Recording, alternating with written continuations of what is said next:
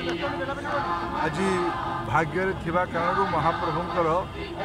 ଭଲ ଦର୍ଶନ ହେଲା ତିନି ଠାକୁରଙ୍କର ଦର୍ଶନ ହେଲା ଏଇଟା ଆମ ସମସ୍ତଙ୍କ ପାଇଁ ଭାଗ୍ୟର କଥା